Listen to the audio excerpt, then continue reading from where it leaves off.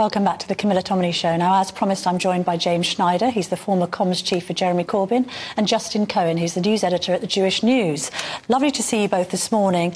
Let's start. Should there be a ceasefire, James? Yes, there absolutely has to be a ceasefire, and that's why the overwhelming majority of people on Earth, the overwhelming majority of people in the UK and the US all support it because it's plain common sense. You can see that you don't respond to the killings of some one group of children with the mass, mass killings of another group but Israel's got a right to defend itself against no a terror attack, hasn't it? Israel has an absolute right to defend itself. It does not have an absolute right to indiscriminately kill children to engage is it in indiscriminately war, killing children, Justin? war crimes. But the, the, fact is that uh, if Israel was to uh, stop, was to engage with a ceasefire at this point, it would be raising the white flag. It would be the international community accepting that Israel doesn't have a right to defend itself against the ultimate acts of barbarity, and it would be also um, a admission that this kind of terrorism could be exported elsewhere in the world. That's that's what would happen if Israel was to raise a white flag at this point. I mean, isn't that a point? You know, what could happen if there's a ceasefire is Hamas could just regroup. They're terrorists. They're not really to be bargained or reasoned with. Do they then put down their weapons? What's to stop? If Hamas want humanitarian aid to come into Gaza and indeed for Palestinian people to be safer, why don't they hand back the hostages? Why don't they stop using people as human shields? The reason why you need to have a ceasefire is there is no military solution to the dispossession of the Palestinian people. This is not going to be resolved. What will happen if Gaza is entirely flattened? If every single person that's even crossed the street near someone uh, who's a Hamas operative has been killed?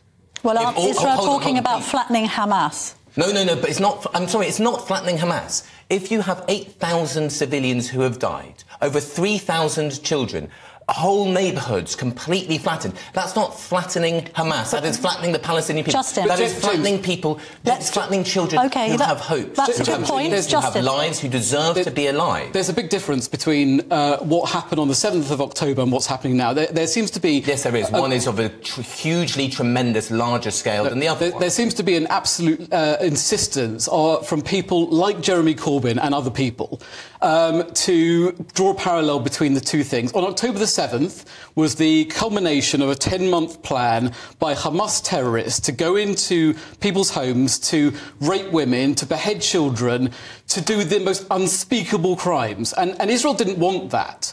Hamas, uh, Israel is now responding to those acts to defend its citizens. It cannot have Hamas on the border and risk this happening again. No government could, could, could allow Israel that to be the case. defending its citizens. But how do you well, suggest well, that it does no, defend its Israel citizens? Israel is not defending its citizens. But how the, should it do it if it doesn't yes, do it like I'll, this? I'll answer.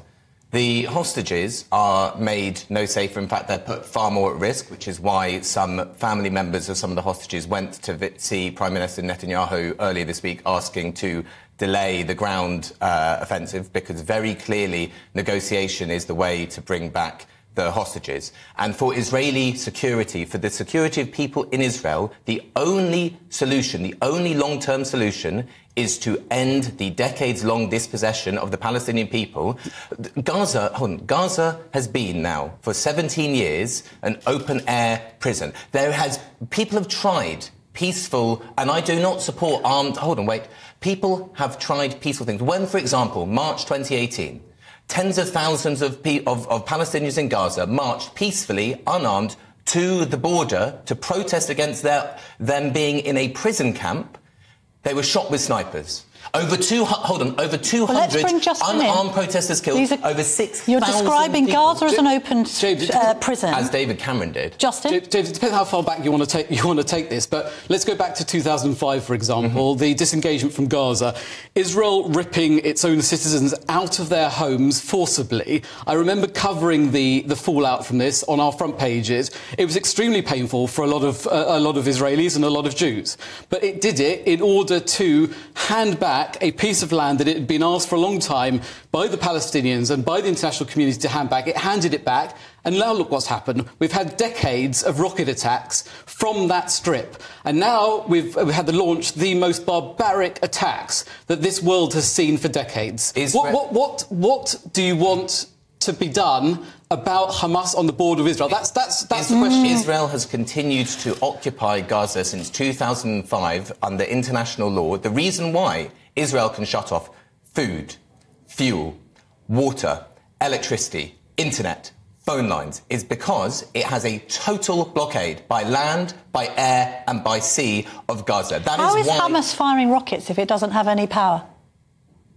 How, how, do you mean? Well, Hamas clearly no, has been no stockpiling is... utilities, right, in the tunnels. So, perhaps they so have. What, but, what's your explanation for Hamas why they aren't is, helping the people of Palestine? Hamas is, that they're the government of this area and they are not helping the people of Palestine because we understand that they're stockpiling fuel and supplies for their own for their own terror Hamas attacks. Is, uh, Israel has a, a, a, an extremely advanced, extremely effective defense shield, the Iron Dome, against Hamas's rockets. Hamas's rockets, it has fired thousands of rockets in, over the last two, two decades. And I think 34 Israelis have been killed by James, those rockets. James, now, come on, well, that, no, again, the, the, again, you know better, the, you know better than that. The threat from Hamas's rockets is does, uh, does not legitimise the complete destruction of Gaza, which is taking place now, and the loss of thousands Justin. of children's the, lives. The intention of each and every one of those rockets is to kill civilians. Yes, Israel has indeed invested in the Iron Dome.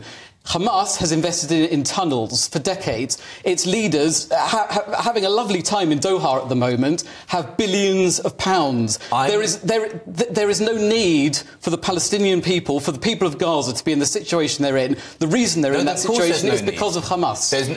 Uh, I mean, no, it isn't. The reason why the, the people of Gaza are in the situation they're in is because they have been dispossessed and denied by an occupying power for decades. That is the, that is the reality. And now that power is killing children in a way which is utterly unjustifiable. Can we bring it domestic for a moment? Because obviously we saw the Palestinian uh, peace marches yesterday in the streets of London. Some say there weren't peaceful elements. Uh, some say that some were using language which appeared to support not only the October the 7th attack, but a degree of Jew hate on the streets of London. Can we have a discussion about whether it is appropriate for protesters to be saying from the river to the sea? It's entirely appropriate. But it, uh, hold on, please it let means me answer. the elimination let, of no, Israel. it doesn't. Please let me answer. Uh, it's entirely appropriate. I'm very proud that we had half a million people on the streets of London yesterday calling for a ceasefire. That was what that protest was uh, was about, and it's um, probably the largest protests we've seen on the streets of London since those that opposed the Iraq War in 2003.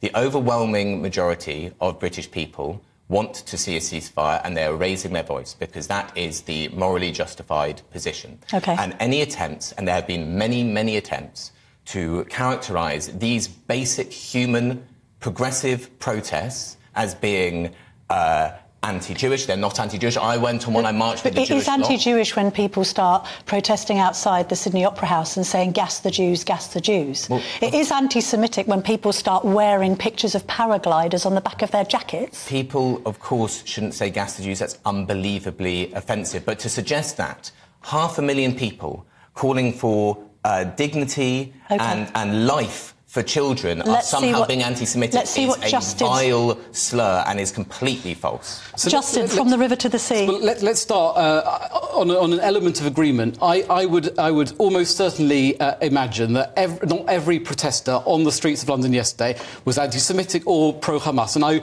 every time I've heard suggestions that they are from members of uh, my own community, or from other people, I have, I have rebutted those with every sinew I have. But when you have people on the streets singing for jihad, singing for another intifada, and worse, calling, uh, uh, repeating uh, old chants, uh, recalling battles between Muslims and Jews in which Jews have been slaughtered, that is not. Uh, that is that is anti-Semitic. That is not helping the Palestinian cause, and that action, action has to be taken by the police and the government, and, and, and before next Saturday, because that, that doesn't just uh, that affects people on the streets. The police cracking down on some of these rogue elements because, as you say, they're giving peaceful marches a really bad name. So my largest priority is to have the biggest possible expression of public support for a ceasefire because our government has a role in this conflict. We support Israel diplomatically. We give it weapons. That is the absolute priority. Of course, there are some fringe. So Keir Starmer needs to pivot to his position finally. Well, of James. course he does, but of course there are always fringe elements in, in some things, and there's some idiots who'll be idiotic. But let's be clear: the majority, the overwhelming majority of the British people want a ceasefire, and they're right to do so. Where, James where do those figures come from, James? Actually, YouGov poll ten days ago. well, th- th- that's that's not a latest figure, and, and the Well, let's see the latest figure. I'm Well, sure it's higher. The, the fact is that, that Keir Starmer is Final point, been Justin. killed in that in final point, time. quickly. Keir Starmer is absorbing a lot of pressure to do what he's doing. Um, can you imagine what would happen if your former boss had been in power now? Yes, it What would the- be much better No, it wouldn't. speaking with No, it wouldn't. of As a the- British, of as a 76 British million Hamas and Hezbollah aren't friends, though, are they, James? No, I wouldn't say No, they were, indeed. no. All right, Justin, James, thank you very much indeed for joining me this morning.